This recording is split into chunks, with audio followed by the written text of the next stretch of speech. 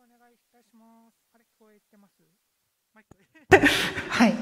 はい、じゃあ、あの、PHP モリ管理術管理術というところで、あの、登壇させていただきます。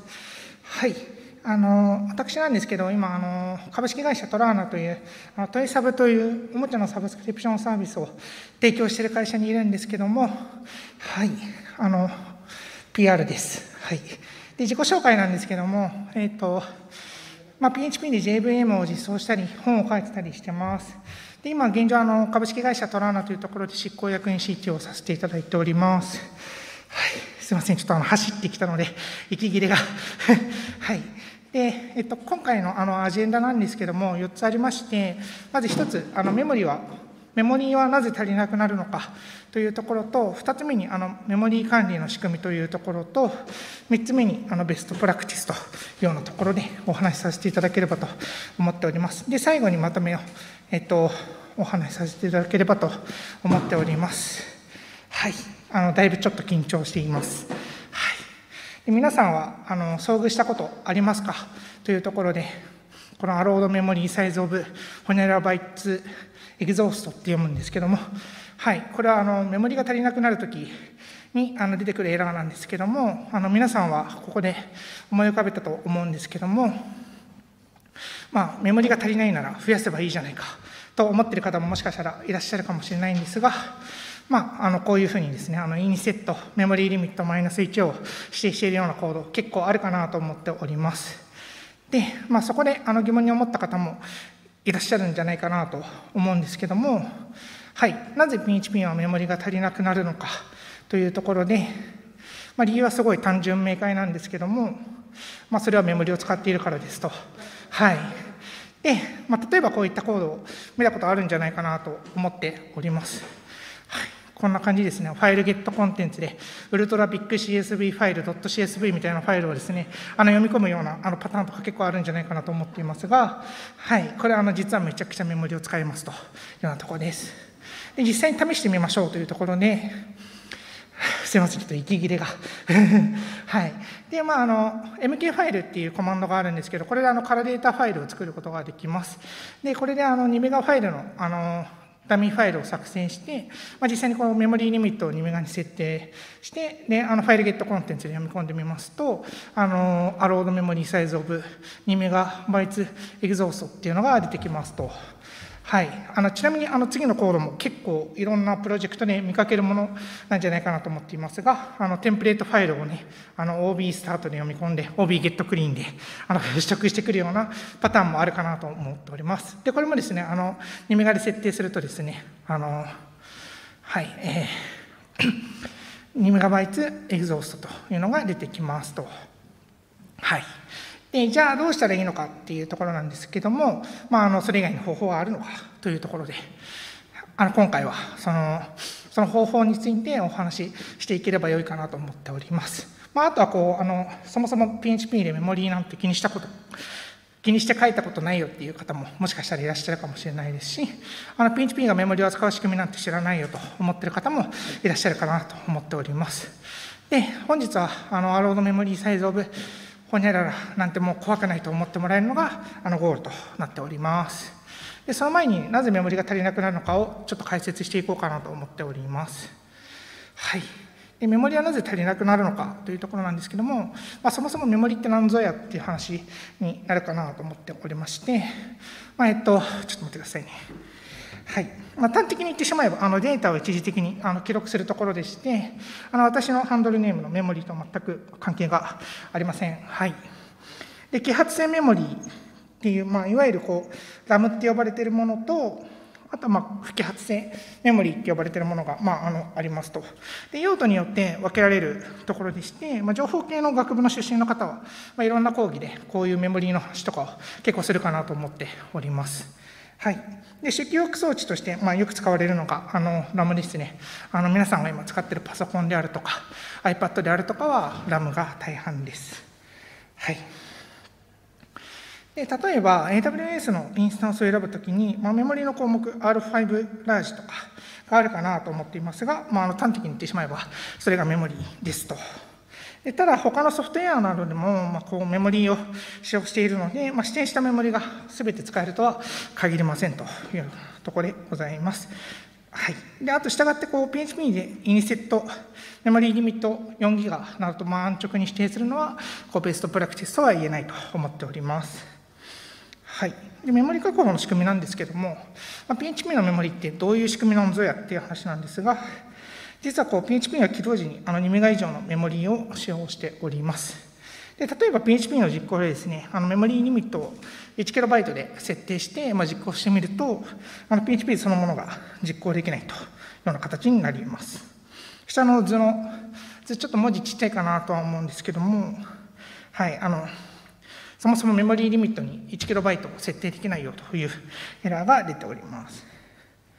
はい、でそもそもなんでこう起動時にですね2メガ程度のメモリを使用しているのかっていうところなんですけども、まあ、メモリーリミットの設定についてはあの PHP-INI のあの、えー、公式のソースコードのですね、あの PHP に MH オンチェンジメモリーリミットっていうものがあるんですが、まあ、そこでこう設定をされておりますと。で最終的にはですね、あの全土メモリーマネージャーというものが呼び出されて、処理されているような仕組みっていうのが、こう PHP のあの主だったこう仕組みになっております。はい。で、 zend alloc .c っていうこう PHP のソースコードの中にある、えっと、 zend set memory limit っていうのが、こうメモリーの設定をしているようなところになっております。で、実は、あの、 configure disable all っていう、こう、PHP をビルドするときに使うコマンドがあるんですけども、この時にですね、あの、ビルドをするときに、まあ、全てのモジュールを実はこう無効化しても、まあ、特段メモリ使用量が減ることはありません。まあ、逆にこう、モジュールを有効化して、えっと、後ほど解説するんですけども、あの、全動メモリーマネージャーというものを使っている設定をしているモジュールに関しては、えっと、ある一定量を超えると、あの実際にこうメモリの使用量が増えていくというような形になります。で、えっと、ちなみにこのモジュールを無効化して実行すると、まあ、常にこう2メガが、えっと、消化されているあ、消費されているということが分かります。で、これ、2メガってどこから来てるのかって話なんですけど、まあ、全ドアロックサイズスドットヘッダーの全度 MM チャンクサイズっていうと、えー、定数がですね、あの2名がバイトとなっているからです。はい。で、そもそも起動だけに、まあ、2メガバイトを使用しているのはなぜかという話の続きで、えっと、えー、全度アロックサイズ数ドットヘッダーの、えっと、22行目ですね。に、まあ、定数書かれているんですけども、ここの定数をですね、あの4メガバイトに変更すると、あの実際にこう、最初の起動時に 4MB が必要になってくるというようなことが分かります。はい。で、まあ、あの先ほどの画像のようにメモリの使用量は全度 MM チャンクサイズのチャンクサイズが参照されるというようなところです。で、この値をのこう倍数を設定するっていうのがメモリーリミットにとってはすごい効率がいいというようなことが分かってきますと。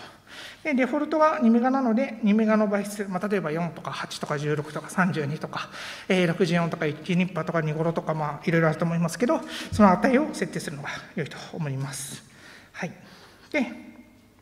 ちなみに、あの、 Zend Memory Manager という話を先ほどちらっとしたんですけども、まあ、環境変数に、あの、 USE ZEND ALLOC イコール0っていうのを設定すると、あの、 malloc っていう memory alloca allocate っていう、こう C の、あの、まあ、コマンドじゃないや、えっ、ー、と、なんだ、関数だ、関数があるんですけども、それをこうシステム的なものを使用するような設定になりますと。はい。でちなみにこう、ちらほら見かけたことがあるかもしれないんですけど、メモリーゲットユーセージとメモリーゲットピークユーセージの値っていうのは、えっ、と、それぞれこう true を第一引数に指定した場合、えー、全土 MM チャンクサイズをベースになると。つまり実際にアロケートされたメモリ消費量というような形になりますと。で、全土メモリマネージャーが、えっ、ー、と、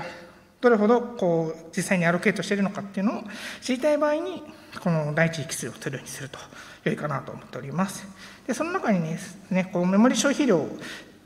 ちゃんと得たい場合については、えー、と第一引数に特段設定をしない方が良いと。まあ、例えばこう、特定の範囲の処理でメモリの消費量を知りたいみたいなあのユースケースとかもあると思うので、まあ、そういう場合には、えー、と最初の引数は、えー、と true にしない方が良いかなと思っております。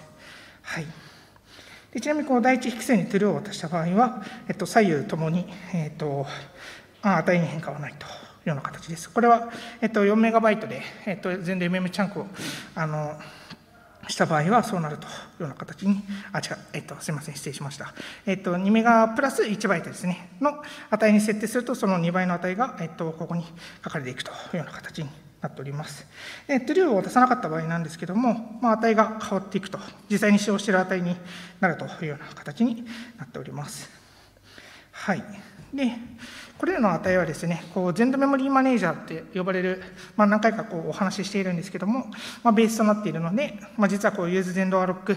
イコール0というものを設定するとですね、常にあの0という値が返ってきます。あの実際に試してみると分かるかなと思っております。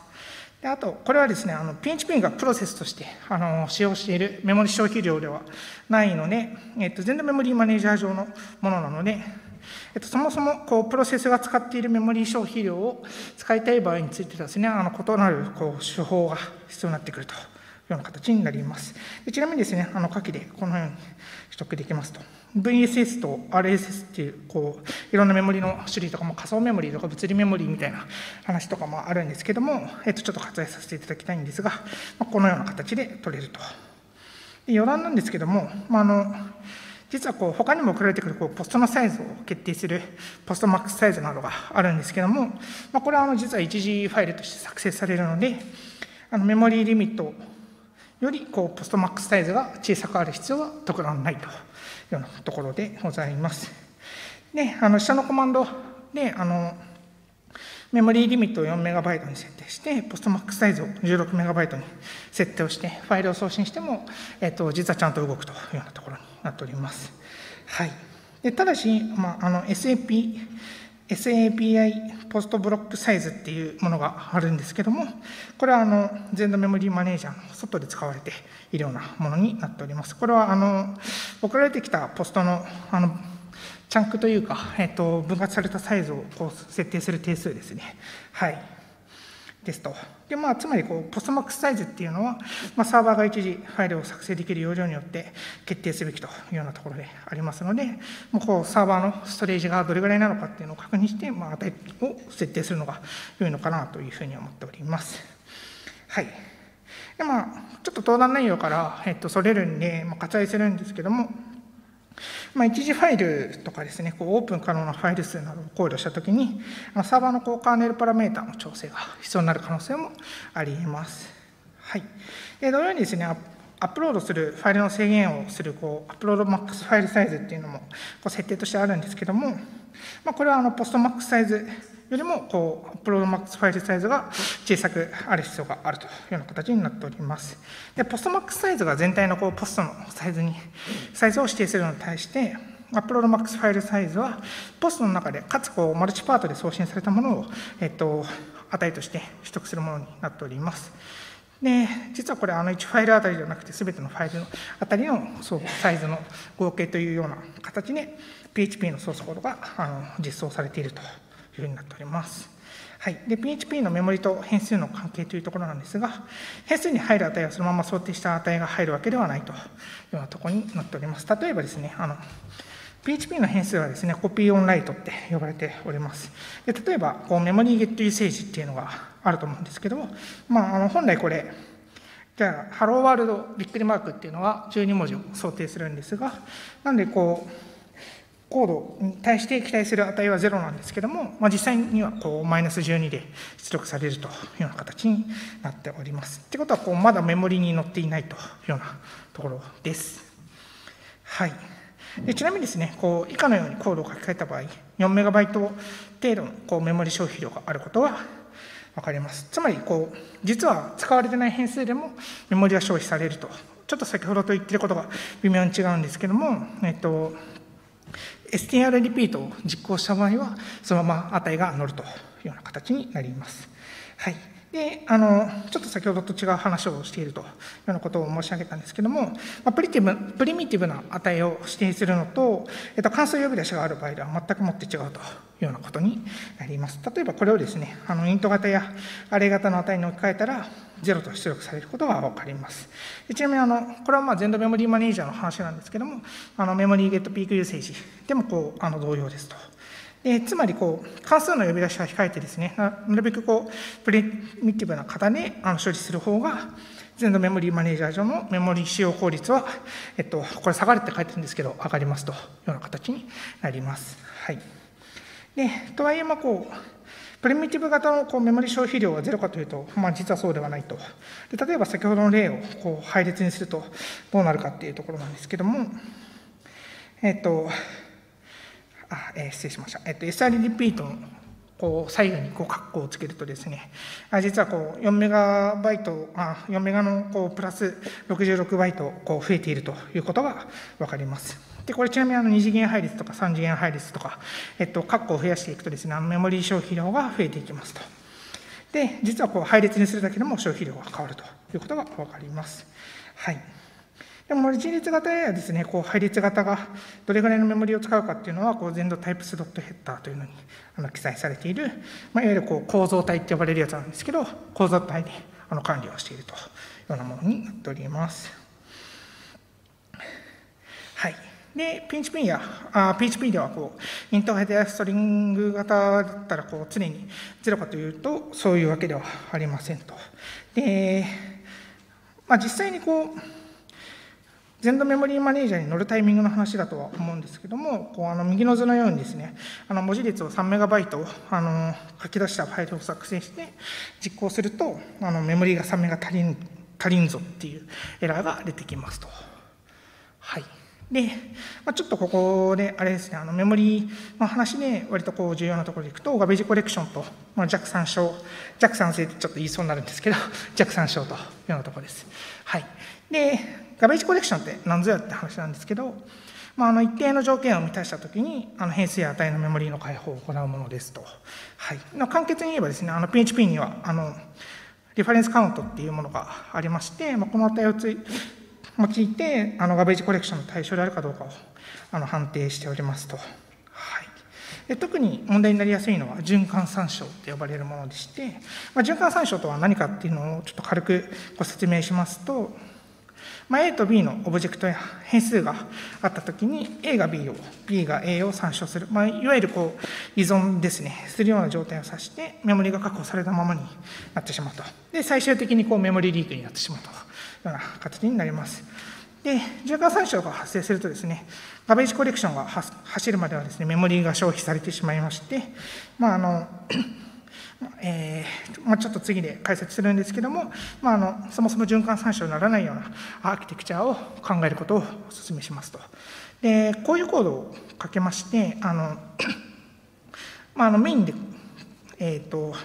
重要な話でいくとえーと、下の方の、えーと、サイクル1とかサイクル2とか書かれている変数を定義しているあたりなんですけども、サイクル2が、えーと、サイクル1に、サイクル1がサイクル2にこう依存しているような仕組みになっています。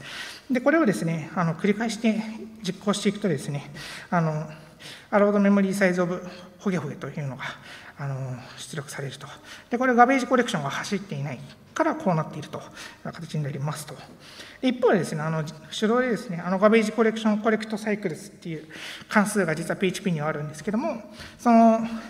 関数を実行すると、まあ、あの右の図のように最後まで実行されるというのが分かります。あ、この資料なんですけど、あの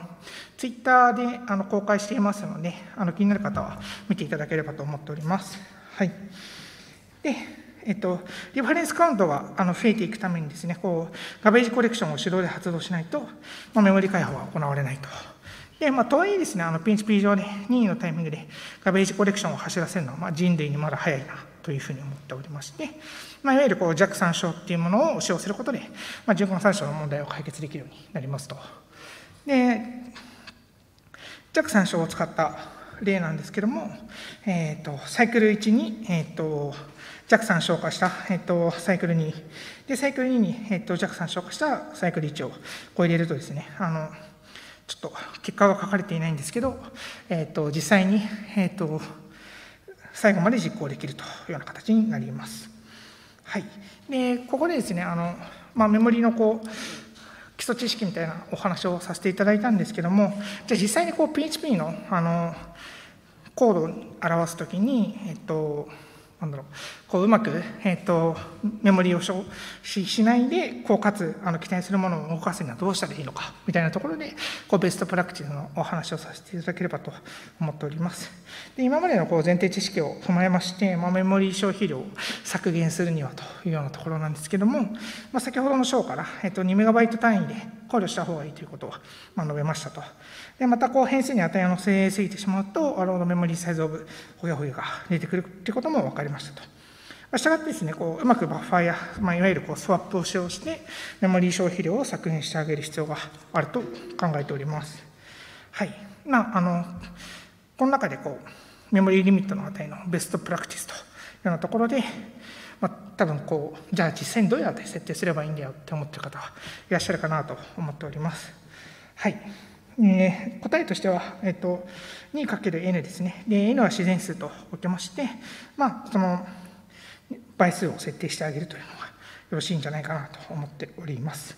で、そもそもメモリーリミットの加減はですね、あの、2メガバイトと決まっておりますので、本来はこうアプリケーションをメモリー消費量2メガ以内でこうかけるとすごいベストだなと思っておりますが、まあ、ぶっちゃけ 無理かもしれないんですけども、こう2メガバイト以内でかけるとすごい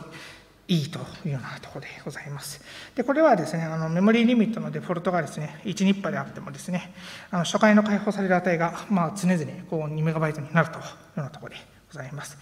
まあ、例えばこう AWS を使用している方で、まあ、C5 ラージを選定している場合とかはですね、こうメモリーの上限は 4GB となりますので、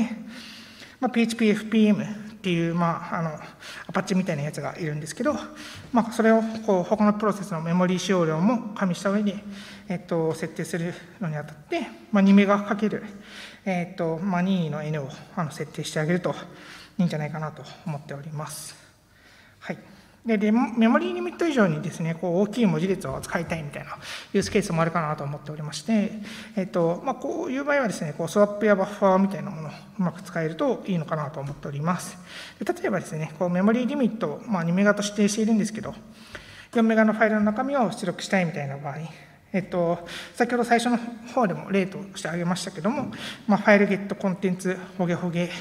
ほげほげのようにこう重たいファイルをですね、愚直に出力しようとすると、まあ、ロードメモリーサイズオブ保護が出力されるので、まあ、次のページのようにですね、分割してあげることで、メモリー使用量をこう抑えることができるんじゃないかなと思っております。えっと、ソースコードの例なんですけども、はい、えっと、まあ、最初にこうメモリーリミット2メガと設定していて、fopen っていう関数があるので、まあ、これでこうファイルをまず開けまして、えっと、読み込み中はですね、あの何かしらにこう書き込まれないようにあのファイルロックをかけてあげて、でそこからこう fread っていう関数を読んであげて、えっと、そこから出力してあげるというような仕組みですと。はい。で、メモリーゲットピークユーセージっていうのを使って、えっと、実際にじゃあ、MAX のこう使ってるメモリーいくつなんだっていうと、これ 8KB で設定しているので、えー、8キロじゃないですね。8000バイトですね。あ、8キロか。8キロバイトで合ってます。はい。で、えっ、ー、と、まあ、2メガのこう全土 MM チャンクサイズから、まあ、変更なしというところですと。